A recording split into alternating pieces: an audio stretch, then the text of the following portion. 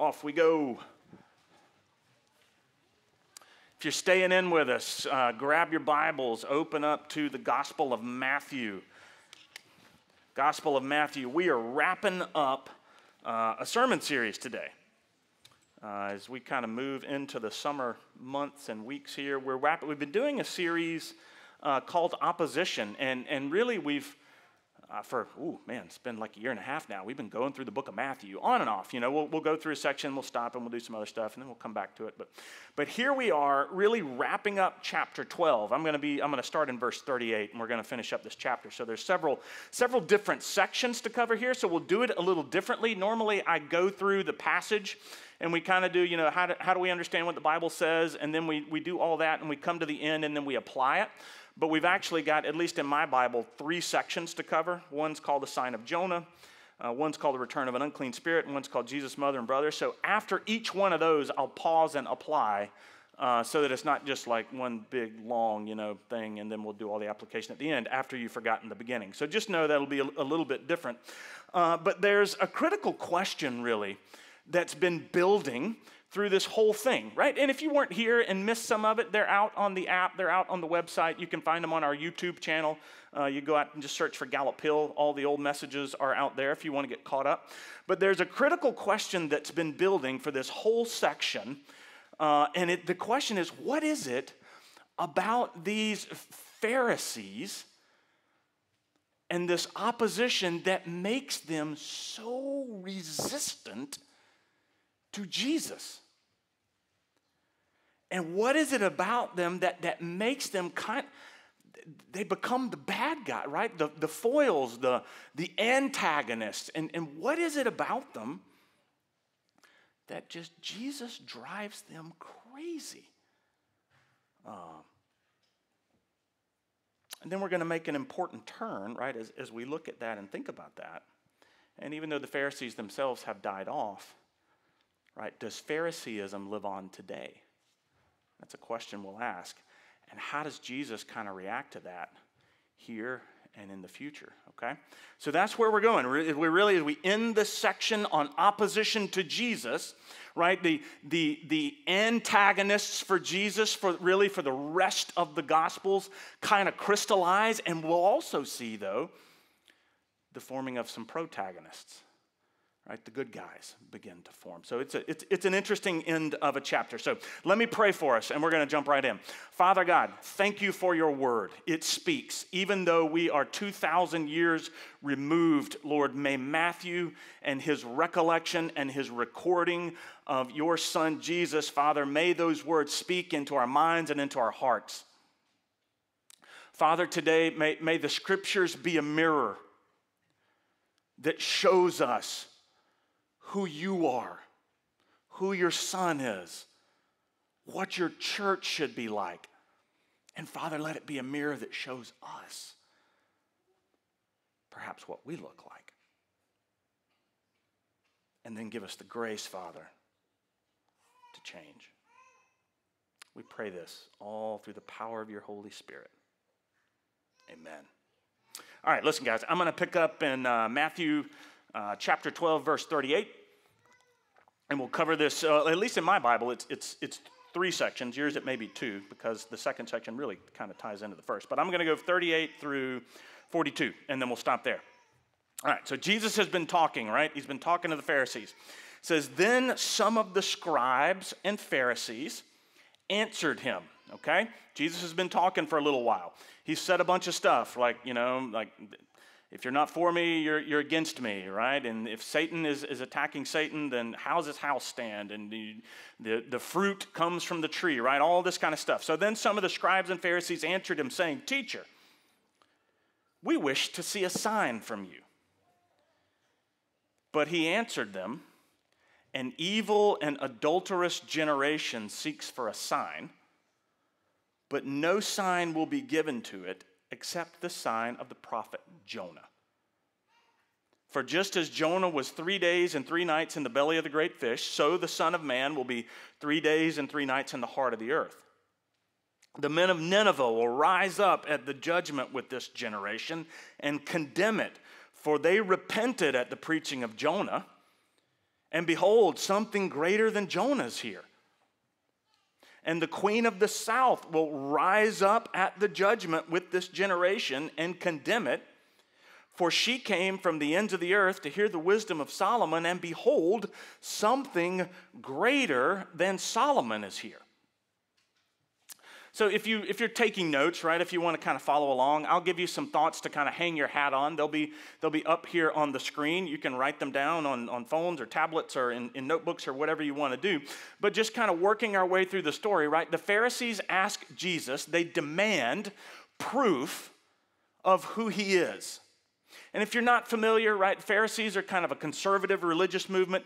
They're based not in Galilee, where Jesus is, they're based down in Jerusalem to the south, but they send people out to all the villages and, and other areas, and they take their teachings and their interpretations of the Bible and their, in, in, in you know, their, uh, gosh, their traditions and all this stuff, and they're, they're like little missionaries that go out. Well, now they've teamed up with a different group, the scribes. And the scribes are like the local religious experts. Yes?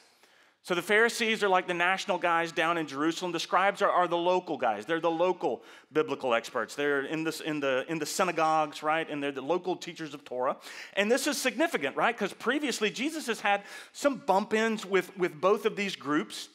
Uh, but now they've teamed up. And the local opposition and the national opposition have come together, and it's starting to, to kind of crystallize into this group that's going to be the antagonist for the rest of the Gospels. They'll later be joined by a couple of other groups called Herodians and Sadducees, which are kind of the left leaning folks. But for now, it's the scribes and the Pharisees. And what are they getting all bent out of shape about? Well, it's really this one question all the way back in, in the beginning of, of, or excuse me, in the middle of chapter 12. If you want to turn back in your Bibles, it's in verse 23, right? Jesus casts out this demon from this demon oppressed man, and the people, in verse 23 says, and the people were amazed and said, Can this be the son of David? And that's a messianic question. The people, they're not sure. We talked about this a little bit before, right? The miracles are pointing towards Jesus. The stuff that Jesus is doing, the healings, the power over the demons, all of this stuff is pointing towards yes, this is in fact the Messiah. But Jesus like his actions and his person and his demeanor and the fact that he's this itinerant preacher that just kind of travels around with this ragtag band of disciples and he doesn't look very kingly and he doesn't talk very kingly and he doesn't say kingly stuff. Instead he says things like love your enemies and pray for those who persecute you. And that's just not what they were expecting so the miracles are making the people go, hmm, I wonder, but the person's making them go, ah, I don't know. Well, the Pharisees and now the scribes see this and they go, wait a minute. This guy can't be the Messiah. Right? We know what the Messiah should look like. We know what he should act like. We know what, what the scriptures say he's going to be. We know how he's going to treat our enemies. He's not going to love them, he's going to conquer them. We know that he's going to be this wonderful king that's going to come and restore the kingdom. And we, we know all this stuff, and this guy's not it. Their expectations of what Jesus should be doing and who Jesus should be acting like are not being met. And so the scribes and the Pharisees have come to the conclusion that he's a false Messiah. And they're plotting how to destroy him. They think he's leading people astray. They don't think his leadership is good for people. He's also, and we've talked about this before, he's a threat to their power because he's undermining their very legalistic interpretations of the scriptures, right? So, Jesus, not only do they believe they have this religious duty to oppose him because they think he's leading the people astray, they've got this kind of this threatening power thing going because what he's doing is undermining their authority, and people are starting to pick up on it and they're starting to get excited about it, and they set a trap for him, right? And that's all the way back in, in, in the beginning of this chapter chapter 12 verse 10 right and they bring this man with a withered hand into the into the, into the synagogue and they ask Jesus, Is it lawful to heal? And then the next phrase, so that they might accuse him. And then they go out after he heals, and the Pharisees went out and conspired against him how to destroy them, okay? So now, what do they do? They come to Jesus again and they go, Well, listen, if you're the Messiah, show us a sign. Give us a sign. And a sign is uh, a miracle. What they're asking for is they want, uh, they want a McMiracle, right? They want a McMiracle. They want just, just an easy, simple, like off the 99 cent menu, right? They're not asking for the Big Mac miracle. They're asking for like the 99 cent fries miracle. Give us a little one that right here, right now, that we can see that you're the Messiah. They want their McMiracle. Do a trick for us, Jesus. And his response an evil and adulterous generation seeks for a sign, but no sign will be given to it except that of the sign of Jonah. That's a strong reaction. Jesus looks at them and the people that they will represent and essentially says, You don't get to decide what's of God and what's not right? In their pridefulness, they thought they get to impose who God should be and what God should act like. In their selfishness, they thought this is, is how it's going to be done, and, and this Messiah should be coming, and he should be putting us up on a pedestal and saying, Look at these people, aren't they the best? Right? In their self righteousness, they look at the Messiah and they say, You've got to prove who you are to us. And then maybe we'll sign off on you being the Messiah. And Jesus says, It don't work like that you will not get your miracle. The only thing you'll get is the sign of Jonah. And this is why I had Aaron read that passage this morning, right? What did Jonah do? Jonah was a prophet sent to the city of Nineveh. He doesn't want to go, right? He ends up three days, three nights in the belly of the fish, right? Uh, and then he gets spit out on the beach, and he eventually ends up going and preaching to Nineveh. And it's a foreshadowing there. Jesus is saying, the proof you're going to want, the proof you're going to get, is going to be the sign of Jonah, but you're not going to get it until my crucifixion and my burial, in three days in a tomb, and then my resurrection. That's what's going to prove it. I'm not doing your parlor trick. And so, Jesus calls them out for their spiritual deadness, is what's happening here. Right? The men of Nineveh, right? He tells them, the men of Nineveh, the, the, you know, I don't know how much you know about history. The men of Nineveh were awful people. If you watch the Veggie Tale movies, right, they slapped each other with fishes. They were terrible.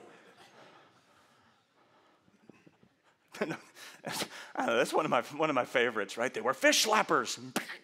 Uh, they were awful people uh, Assyria was, was, was one of the most brutal. When, when you think about it, like we look around at, at things that are going on, whether it's ISIS or you know all this d- different stuff, and we, and we look at the brutality that happens with you know Hamas. It, like they had nothing on the Assyrians. Perhaps one of the most brutal people groups that lived ever. Uh, and when Jonah appeared, though, he appears in their capital city and he begins to preach, and the whole city hears and repents. Like these pagans hear and repent. And this is around you know, 450 BC. And, and Jesus says, likewise, right, during the reign of Solomon, 500 years before that, like 950 BC, the queen of Sheba, this African queen, hears about Solomon and his great wisdom, and she shows up in Jerusalem just to hear, and she believes, she's like, and Jesus is going, listen, these guys just saw a little bit. They just saw Jonah right? And, and they believed through Jonah. And, and this lady just saw Solomon, and she believed through Solomon. But you guys, right? Like, how much, if they believe through that, how much more should you believe through me? Something greater. This is what Jesus is saying. Somebody greater than Jonah's here, a greater preacher than Jonah's here, right? A wiser king than Solomon's here. And, and you guys are missing it. And he's like, these guys are, they're gonna rise up in the day of judgment and they're gonna condemn you not by their words, because that's God's job, but by their actions. They took a lesser revelation and they believed and repented. But not you guys. And this gets to what I think and what I'm gonna land on for this whole section has been building for chapter 12 is that there is nothing more spiritually dead than a Pharisee. There is something about this spiritual pride. Like the Pharisees, they had all this learning right? They knew the scriptures, they were educated, they studied them constantly, they read other books, they talked to other scholars, they learned the, their learning of the scriptures was way beyond most people, but instead of making them discerning and ready for God, it made them arrogant and prideful and full of themselves. And they were condescending and they looked down on people and their lives revolved around living out their traditions and their rules and the ways they thought it should be done. And if you did it differently, they criticized and belittled and discouraged you, always with something negative to say. They were, people were afraid of them. They loved, though, being thought of as important and influential, and they lusted after important places and positions to be thought of as spiritual and knowledgeable, right? Their, their self righteousness was off the charts. Even Jesus didn't meet their standards. He didn't look the part. He didn't dress the part. He didn't act the part. His style of ministry was met, messy, right? It wasn't all buttoned up and nice. Jesus wasn't acceptable to them because their hearts were hard and critical. And they operated right now kind of behind the scenes, plotting and scheming and grumbling and trying to gather allies. They've gathered allies now, right? They're starting to pull together people. There's nothing more spiritually dead and hard than a self righteous, prideful, confident Pharisee. And if we think about it, right, the official order of the Pharisees, they died out not long after Jesus, right? The temple was destroyed in AD 70 by the Romans when the, the Jews rebelled, and, and the order of the Pharisees kind of just slowly died off over the, the decades that followed. But Phariseeism still lives on. And the sad thing is, you can find them in many churches across the country. They may not look like Pharisees, they may not call themselves Pharisees, but there is a self righteousness and a hardness and a bitterfulness and a pridefulness. And they're very difficult to get through to. They're convinced of their own righteousness, and there's nothing almost nothing. Like Jesus, Jesus is going to, like he's, he's working on these guys. He's going to tell them a parable here in just a second that we're going to look at. He's still trying to break through to them, right? He's, he's, he's, not, he's not at the point yet where he's willing to give up. That's coming. Chapter 16, Jesus walks away from them. And he tells his disciples, don't listen to these guys. Beware of them, their teaching, their influence. For now, he's still trying them. And he tells them this, this little story in Matthew 12. I'm going to pick it up now. This is the next section. Maybe it's just part of the same section in yours. But he says, listen, starting in verse 43 says, When the unclean spirit has gone out of a person, it passes through the waterless places, seeking rest, but finds none. Then it says, I'll return to my house from which I came. And when it comes, it finds the house empty, swept, and put in order. Then it goes and brings with it seven other spirits more evil than itself. And they enter and dwell there, and the last state of the person is worse than the first. So it will be with this evil generation. Jesus is telling them, listen, guys, your heart's got to be filled with God. Like that's the only thing that's going to make a difference. Your heart's got to be filled with God. So he tells them a story. He tells them a story about a guy who was possessed by a demon. Unclean spirit, demon, synonyms, right? Possessed by an unclean spirit. And for some reason, that demon leaves. We don't, we aren't told why, right? Maybe it leaves on its own and decides, you know, hey, I'm gonna go find better pasture somewhere else. Maybe it's cast out, we're not sure. But the spirit passes out and it says it kind of goes out over the into, into the wilderness and it starts looking for another host, right? And, and it's wandering around, it's seeking rest, another place to, to come, another person, because a, a demon who's not influencing a person is a demon who's not doing his job, right? So he goes out, he doesn't find anything else, and so what does he do? I'll go home. He comes back. And he finds the guy that he had formerly inhabited. He's gotten his life together, right? His house is swept, it's cleaned up, it's buttoned up, it looks good, right? It's putting in order, right? This guy now, he's got it all together, right? I mean, look at what it says, right? And when it comes, he finds the house empty, swept, and put in order. The house looks great, it's clean. But the key word there, if you're, if you're an underliner, empty. It's empty, right? The evil abandoned it,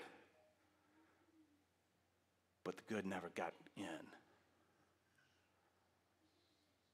It's, this whole thing, we've been talking about it week to week to week, right? There's no neutral. There's no neutral. this demon comes back and he sees this perfect home. This guy's a good citizen, he's a good father, he's a good husband, he's a good employee, but his heart is empty. And so, what does the demon do? He goes, sees this perfect place. He goes and gets seven of his buddies. All eight of them move in. And this guy's in awful shape now. And he ends up worse than he was before. So, what do we do with this? Listen, church. Like your heart has to be full of the love of God and love of neighbor. If it's not filled with that, then it's just waiting for evil. It's a tragic story. It's a simple story. But if we aren't filling our hearts with love of Jesus and love of neighbor, it will be filled with Satan because there's no neutral.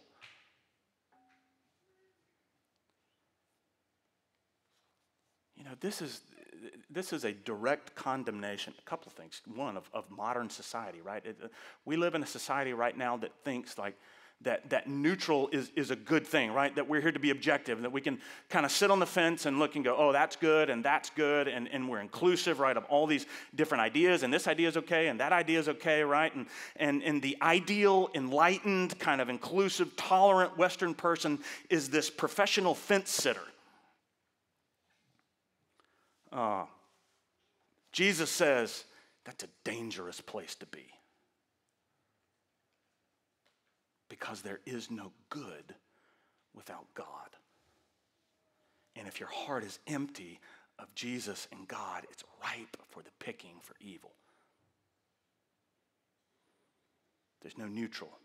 You can't sit on the fence. Verse 30 Whoever is not with me, this is Jesus talking, is against me, and whoever does not gather with me scatters. It's also a condemnation of the Pharisees, right? It, it hits home for us because our society kind of prides ourselves. We love to be fence sitters, right? And everything, everything's okay. I can have one foot in this world and one foot in that world, and, and that's the ideal way to live. But it, it's also a condemnation of the very people that, that Jesus is coming into contact with because the Pharisees, they were all buttoned up right? They were swept, they were clean, they were in order, they looked good, they did all the religious stuff, they checked all the boxes, but there was no Jesus or God in there.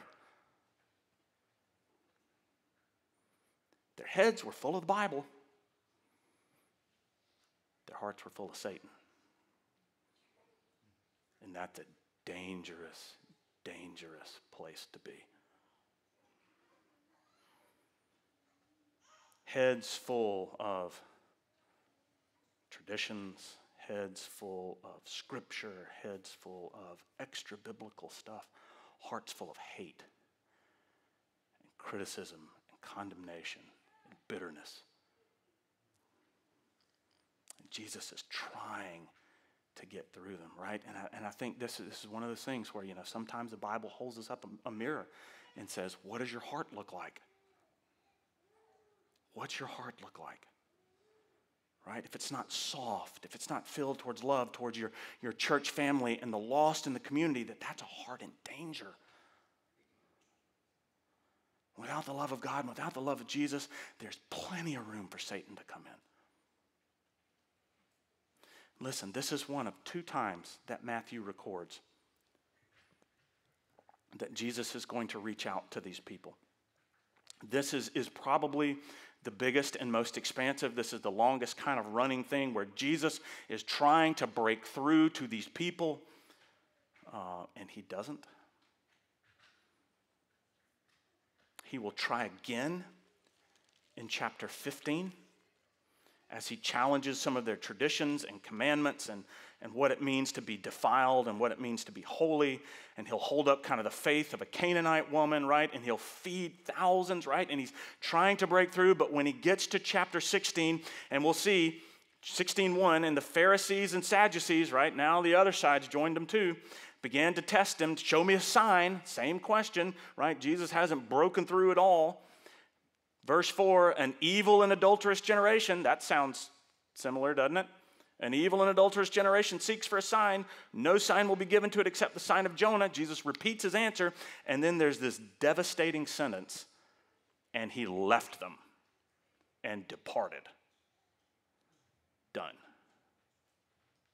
And the next section is he is warning his disciples beware of being around them. And that's really the end of his outreach to them. So, what then does Jesus begin to do? Let's pick up in verse 46. While he was still speaking to the people, behold, his mother and his brothers stood outside asking to speak to him, but he replied to the man who told him, Who's my mother and who are my brothers? And stretching out his hand toward his disciples, he said, Here's my mother and my brothers, for whoever does the will of my Father in heaven is my mother and my sister and my brother. Sorry, got that backwards. Brother and mother, brother and sister and mother. Yes. Jesus begins to form the church. The antagonists have formed. The chief protagonist has been here but now his people begin to form. While he was still speaking, right? Jesus is having this running kind of confrontation with the Pharisees. His mother, Mary, Mary, his mom, shows up. Mom shows up. Son, what are you doing? Right? His brothers are with him. The way it's written in the Greek, it, it could mean his brothers or it could mean all his siblings. It, we know Jesus had both brothers and sisters, half brothers, half sisters, right? Mary's, you know, Jesus is, is Mary's full biological son, but not Joseph because he's born of the Holy Spirit. The rest of his brothers and sisters are Mary and Joseph's kids, right? So they're half brothers and sisters. Uh, we know that there's a bunch of them, the other gospels tell us. So they're trying to get to him. Uh, they're trying to break through to him, so they send some guy in. His mother even can't even get in the house that he's in. Uh, and he says, Hey, your family's outside, and they're asking about you. And Jesus points around to the room. And Jesus says, Who's my mother and who are my brothers? And he points at his disciples. And keep in mind, there's men and there's women following Jesus at this point. And women were not the apostles, they were not part of the 12, but they were very much part of the following. Jesus pointed around and he goes, This is my family. These are my brothers and my sisters and my mothers. And he makes a very important point here, and a point that we all need to hear. And this is the one I'll end on, right? Is that the bonds of belief, the bonds of belief are stronger than the bonds of blood. The bonds of belief are stronger than the bonds of blood. Now, I want to caveat it. Jesus is not saying, right, that your biological or adoptive families are not important. Not at all. Jesus will criticize the Pharisees in chapter 15 because they're not taking seriously their obligations to their parents.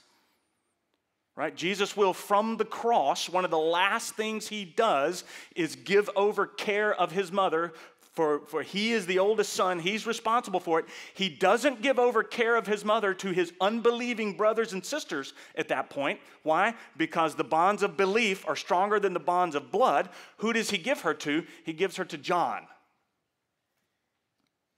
Incidentally, the only apostle that will live out a natural life long enough to take care of his mom. Jesus is not anti family. Your family is important multiple commands in Scripture to love them and care for them and support them. But for what Jesus is saying here, saying ultimately at the end of the day, bonds of faith are greater than the bonds of blood. This is the embryo of the church. This community that's forming around Jesus after the resurrection and Pentecost will be born, and it will be the church. And he's saying this Christian's relationship with other Christians, especially those right around them, are as important or more important than your biological family. Listen, the people you see around you right now, these people are important. Right? Jesus says, This is your family. Like you look at them. These are the people that you are to love. These are the people that you are to encourage. These are the people that you are to support. These are the people that you are to pray for. These are the people that you serve with, right? These are the people, right? And Jesus is, he's just made reference, and, and, and it's in its embryonic form. Jesus goes, This is the church. This is the church. And to an extent, every other Christian out there, whether they're in North America, South America, Africa, Asia, doesn't matter. They're your brother and sister too. But this is the group. These are your brothers and sisters. To love them, support them, pray for them, encourage them. This following Jesus stuff, man, this is hard. It's hard. So I want you to just take some time today. The worship team's going to come and they're going to play. We're going to go to the Lord's table. We're going to come to gather as a family. Communion is this beautiful like look of, of, of God's family gathering around the Lord's table. Hold the mirror up to you today. Is that you? Right? Are you trying to sit on the fence? Is your heart hard? Like, do you love these people like you should love these people? If not, now's the time to go to God. Now's the time to go to Jesus and say, Lord, change my heart. I'm going to pray for us. Aaron's going to come up and lead us.